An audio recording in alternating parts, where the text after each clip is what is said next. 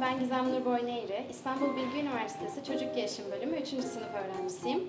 Narcanlar Masal Yazıyor projesindeki Pini ve Yağmur Damlacı adlı hikayenin yazarıyım. Ee, hikayemde hayatımızda var olan doğa olaylarından birine değinmek istedim. Çocuklara yağmurun nasıl yağdığını öğreten bir hikaye yazdım. Ee, hikayem 3-6 yaş grubuna hitap ediyor. Umarım sizler de keyifle okursunuz.